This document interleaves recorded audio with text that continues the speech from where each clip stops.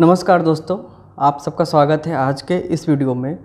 और आज का इस वीडियो बिल्कुल नए टॉपिक पर आधारित है, जो आपको पैसा कमाने में काफ़ी ज़्यादा मदद करेगा। अगर आपने अभी बीएमएस किया है या एमडी किया है तो निश्चित तौर पे आप जो है इसके बाद प्रैक्टिस करने के लिए आपने कहीं ना कहीं अपनी क्लिनिक ज़रूर खोली होगी। और ऐसे में होता है क्या है कि आप जब कहीं भी कोई नई क्लिनिक खोलते हैं तो उसको इस्टेब्लिश होने में, चलने में थोड़ा सा समय लगता है। बहुत से लोग शुरुआत के दिनों में जब क्लिनिक नहीं चलती है तो फ्रस्ट्रेट हो जाते हैं और बहुत सारे उल्टे सीधे ख्याल उनके मन में आते हैं। वो सोचते हैं कि अब क्लिनिक बंद कर देना चाहिए, नहीं चल रही है, या किसी अन्य धंधे में लग जाते हैं। तो आज के इस वीडियो में हम आपको ऐसे कुछ टिप्स के बारे में बताएँगे कि अगर आपने अपनी कोई भी क्लिनिक नई खोली है और नहीं चल पा रही है तो कैसे आप अपनी इस क्लिनिक को रन करा सकते हैं, ज़्यादा पॉपुलर करा सकते हैं और अच्छी खासी जो है आप अर्निंग कर सकते हैं। तो आज का यह वीडियो आप अंत तक ज़रूर देखिए और अगर आपको वीडियो अच्छा लगे तो इसे अधिक से अधिक लाइक कीजिएगा और शेयर कीजिए। तो चलिए शुरू करते हैं आज का वीडियो। वीडियो शुरू करने से पहले अगर आप हमारे चैनल पर नए हैं और हमारे चैनल को सब्सक्राइब नहीं किया है तो ज़रूर सब्सक्राइब कर लें, जिससे हर नई वीडियो का अपडेट आपको समय पर मिलते रहें। तो दोस्तों, जैसा कि आज हम बात करने वाले हैं क्लिनिक के संबंध में तो बहुत से लोग ऐसे होते हैं जो क्लिनिक खोल देते हैं, लेकिन उसका प्रचार प्रसार नहीं करते। आपको यह याद रखना बहुत ज़रूरी है कि कोई भी बिज़नेस चाहे वो क्लिनिक हो या कोई भी अन्य व्यवसाय हो, अगर आप शुरू करते हैं तो उसको एस्टेब्लिश होने में, चलने में थोड़ा बहुत समय ज़रूर लगेगा। और यह समय जो है छः महीने भी हो सकता है, एक साल भी हो सकता है और दो साल भी हो सकता है। तो ऐसे में आपको हिम्मत बिल्कुल नहीं हारना है, क्योंकि अगर आप हिम्मत हार जाएँगे तो आपकी क्लिनिक कभी नहीं चल सकती। आपको उम्मीद रखना है, समय देना है और कुछ स्ट्रेटजीज है जो हम बताएँगे, आपको उसे फॉलो करना है। निश्चित रूप से आपकी क्लिनिक रन करेगी और किसी भी जॉब से बेहतर आप इसमें अर्निंग कर सकेंगे। तो सबसे जो पहली गलती लोग करते हैं कि क्लिनिक अब जब भी खोलते हैं तो अपना ठीक से प्रचार प्रसार नहीं करते। कोई उनका दोस्त या कोई रिश्तेदार उनका पूछता भी है तो वो बहुत खुल के उसके बारे में बातें नहीं कर पाते। कहीं ना कहीं उनके मन में हेजिटेशन होता है कि हम अपने बारे में क्या बताएँ या हम अपने को कैसे श्रेष्ठ कह दें। तो देखिए, अगर आपको क्लिनिक रन करना है तो सबसे पहले आपको कहना पड़ेगा कि मैं एक वेस्ट आयुर्वेद का चिकित्सक हूँ। अगर आप अपने को खुद को ही, अगर श्रेष्ठ चिकित्सक मानने को तैयार नहीं है, अगर आप इसको कहने में हिचकिचाहट महसूस कर रहे हैं तो सामने वाला भी इस बात को स्वीकार नहीं करेगा। तो सबसे ज़रूरी है कि जब भी आप किसी को भी बताएँ अपने बारे में तो आप ज़रूर कहें कि you are the one of the best Ayurveda physician in this city तो इसमें कहने में कोई हेजिटेशन नहीं होना चाहिए कि जो शहर में बड़े बड़े आयुर्वेद के चिकित्सक हैं, आप भी उनमें से एक हैं।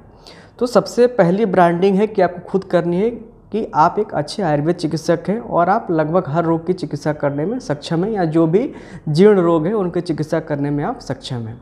आप कहेंगे तभी सामने वाले को भी यकीन होगा और इससे एक आपकी ब्रांड वैल्यू बनेगी। जो दूसरी समस्या आती है कि अधिकांश लोग जब शुरुआत करते हैं क्लिनिक खोलते हैं तो किसी छोटे से कमरे में एक क्लिनिक खोलते हैं और इंफ्रास्ट्रक्चर पे या जो भी क्लिनिक की साज सज्जा उस पर ध्यान नहीं देते हैं। यानी कि उनको लगता है कि चले या ना चले तो हम क्यों ज़्यादा पैसा इन्वेस्ट करें? तो इस चीज़ के बारे में भी थोड़ा सा आपको माइंडसेट बदलने की आवश्यकता है। क्लिनिक चले या ना चले, ये तो भविष्य की बात है। लेकिन अगर आप किसी भी काम को शुरू करने जा रहे हैं तो एक बेहतर आपको इंफ्रास्ट्रक्चर की नीड पड़ेगी। यानी कि अगर कोई भी पेशेंट आपको दिखाने आता है तो उसके मन में एक बेहतर छवि आपके क्लिनिक की जानी चाहिए और इसके लिए जो आपकी क्लिनिक है, उसका इंफ्रास्ट्रक्चर ठीक होना चाहिए, उसकी सजावट साज सज्जा अच्छी होनी चाहिए, देखने में अच्छा लगना चाहिए। ऐसा नहीं कि जो भी पेशेंट आए, वो एक ख़राब एक्सपीरियंस लेके जाए कि आपके पास बैठने की अच्छी चेयर नहीं है, आपका रूम साफ़ नहीं है और जो है आपका इंफ्रास्ट्रक्चर ठीक नहीं है तो क्लिनिक जब भी आप शुरू करें, उसके इंफ्रास्ट्रक्चर पे आप ज़रूर ध्यान दें। साफ़ सुथरी क्लिनिक हो और वेल मेंटेन्ड वेल वेंटिलेटेड और जो लाइटिंग है, वो भी काफ़ी अच्छी हो कि जो भी है, उसके पास एक अच्छी इमेज जाए जो दूसरा एक महत्वपूर्ण फैक्टर है कि इस समय अगर आप कभी भी, कहीं भी क्लिनिक खोलते हैं तो जितने इस समय ऑनलाइन प्लेटफॉर्म है, बहुत सारे हैं, इसके पहले मैंने आपको वीडियो में बता भी रखा है ऑनलाइन कंसल्टेशन के वीडियो में आप उसको आई बटन पर क्लिक करके या हमारी वीडियोज़ की लिस्ट में जाके आप देख भी सकते हैं। तो जितने भी बड़े बड़े जो आपके पास ऑनलाइन प्लेटफॉर्म है, जैसे कि लाइब्रेट है प्रैक्टो है या जस्ट डायल है तो इन सब पे अपने क्लिनिक को रजिस्टर ज़रूर कर लें। साथ में जो गूगल बिज़नेस है गूगल बिज़नेस पे आप आसानी से अपने क्लिनिक का या हॉस्पिटल का आप एड्रेस बना सकते हैं। और उस पर अपने क्लिनिक का लोकेशन भी ऐड कर सकते हैं। आजकल जो है ऑनलाइन का ज़माना है, जब भी कोई पेशेंट किसी को दिखाना चाहता है तो एक बार गूगल पे सर्च ज़रूर करता है। और ऐसे में अगर आपकी जो बिज़नेस साइट है, आपकी क्लिनिक है, अगर गूगल पे लिस्टेड है स्पेशली गूगल के बिज़नेस प्लेटफॉर्म पे लिस्टेड है और गूगल मैप पे है उसकी लोकेशन है तो आसानी से हर आदमी आपके क्लिनिक पे पहुँच सकता है। और जब भी कोई सर्च करता है best Ayurveda physician in this city या समथिंग ऐसा अगर कोई सर्च करता है तो उस पूरी लिस्ट में आप देखेंगे कि उसमें जो लिस्ट बन के आती है ऊपर से नीचे की तरफ़ तो उसमें आपके क्लिनिक का लोकेशन दिखेगा, जिससे कि लोगों की रीच आपके क्लिनिक पे बढ़ेगी। साथ में जो भी पेशेंट अगर आप देखते हैं तो आप उनसे एक निवेदन ज़रूर करिए कि अगर उनको फ़ायदा होता है तो जो गूगल मैप पे है, आपकी क्लिनिक की जो लोकेशन है साइट है, उस पर रिव्यू ज़रूर लिखें। क्योंकि अगर उस पर रिव्यू आपके बहुत सारे पेशेंट्स लिखते हैं और अच्छी रिव्यू लिखते हैं। तो जो नए पेशेंट्स हैं, उनको भी कॉन्फिडेंस आता है कि अगर वो आपसे दिखाते हैं तो उनको निश्चित रूप से फ़ायदा मिलेगा। जो तीसरा मेन स्टेप है, उसमें है कि आपको अपने क्लिनिक या हॉस्पिटल की वेबसाइट ज़रूर बनानी चाहिए। और जो वेबसाइट बनाए, बिल्कुल नीट एंड क्लीन हो, साफ़ सुथरी हो, बहुत ज़्यादा उस पर मैटर उपलब्ध ना हो। सिर्फ़ उसमें उन्हीं बातों की ज़िक्र करें जो सर्विसेज़ आप देते हो। साथ में आपके क्लिनिक का मैप उस पर हो और कॉन्टैक्ट नंबर बोल्ड अक्षरों में लिखा हो जिससे कि आसानी से कोई भी नोट कर सके।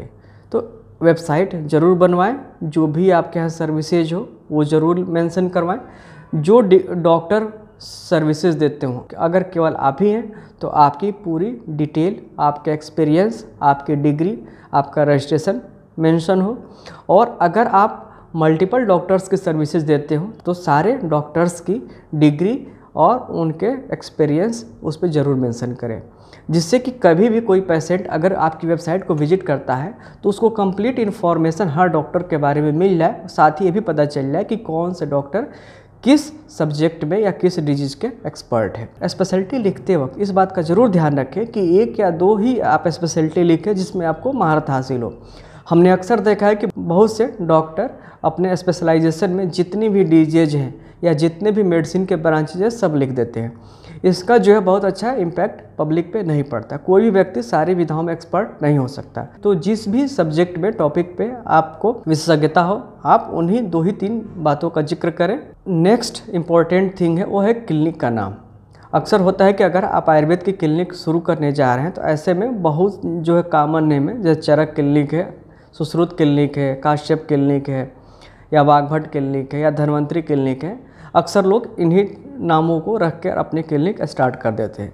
तो एक चीज़ में ज़रूर ध्यान रखना है कि ये जितने नाम हैं ना, काफ़ी ज़्यादा कॉमन हो चुके हैं और हर दूसरा तीसरा आदमी इन्हीं नामों को रख के अपनी क्लिनिक स्टार्ट करता है। तो ऐसे में जो आपकी क्लिनिक है, उसकी ब्रांडिंग नहीं हो पाती है।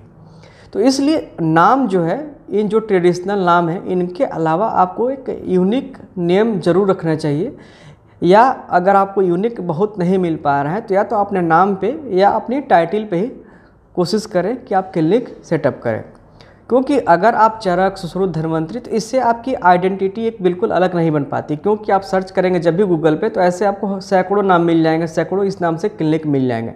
ऐसे में आपकी ब्रांडिंग नहीं बन पाती है। तो ब्रांडिंग के लिए नाम यूनिक हो और कोशिश करिए आपका खुद का नाम उसमें हो या आपकी टाइटिल हो। इससे अगर आप जब भी आपकी क्लिनिक जब सक्सेसफुल होने लगेगी तो आपकी जो एक ब्रांड वैल्यू बनने लगती है और उससे आपको बिज़नेस में या फर्दर जो है आपको उससे काफ़ी हेल्प मिलती है। जो अगला पॉइंट है, वो है लोकल मीडिया चाहे प्रिंट मीडिया हो या इलेक्ट्रॉनिक मीडिया हो।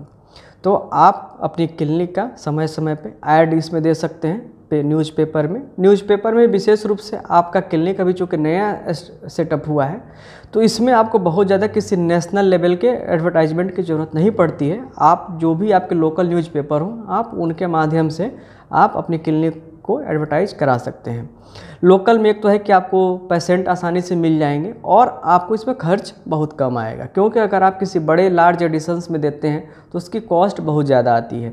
तो बेहतर है कि शुरुआत में जो आपके लोकल न्यूज़पेपर्स हैं, उनके रेट भी सस्ते होते हैं और आपकी रीच भी केवल सिटी एरिया में ही रहेगी अगर आप बिगनर्स हैं। तो ऐसे में छोटे छोटे न्यूज़पेपर्स में आप अपना ऐड दे सकते हैं।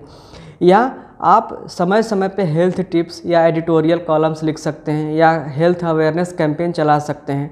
तो इसके माध्यम से भी लोग अगर आपको डेली पढ़ते हैं, देखते हैं तो उससे आपको काफ़ी ज़्यादा इसमें मदद मिलती है। प्रिंट मीडिया और इलेक्ट्रॉनिक मीडिया के अलावा आप पैम्पलेट आप बंटवा सकते हैं, जो भी आपकी लोकलिटी हो, आपके आसपास की जो सोसाइटी हो, वहाँ पर पैम्पलेट बंटवा के भी आप काफ़ी ज़्यादा अपने को एडवर्टाइज करा सकते हैं। कुछ चीज़ें और भी महत्वपूर्ण हैं जो आपके क्लिनिक के प्रचार में काफ़ी ज़्यादा महत्वपूर्ण भूमिका अदा करती हैं। उसमें है कि समय समय पर आप अपने आसपास की लोकलिटी हो या सोसाइटीज हो या कोई कॉलोनी हो, उसमें आप समय समय पर हेल्थ कैंप आप ज़रूर लगाएँ।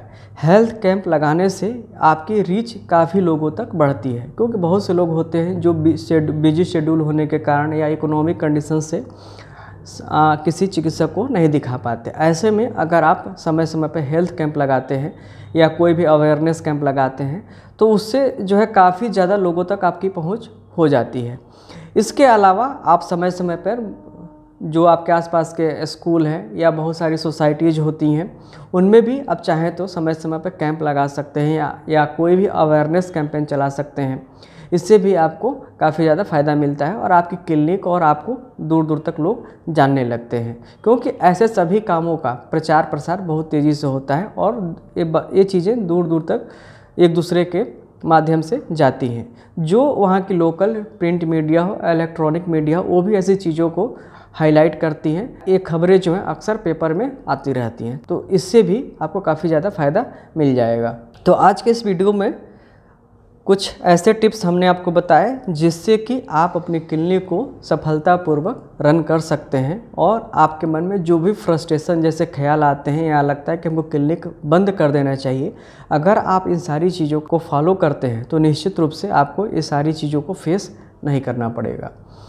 तो आज का वीडियो आपको कैसा लगा तो हमें कमेंट बॉक्स में ज़रूर लिखें ज़रूर लिखें आपके हर कमेंट का हम कोशिश करेंगे कि रिप्लाई ज़रूर करेंगे। इसके अलावा अगर आप हमसे जुड़ना चाहते हैं तो हमारे टेलीग्राम चैनल पे ऐट आयुष वाणी पर आप जाकर हमारे ग्रुप को ज्वाइन कर सकते हैं, जहाँ पे ऐसे बहुत सारे टिप्स आपको मिलते रहते हैं समय समय पे।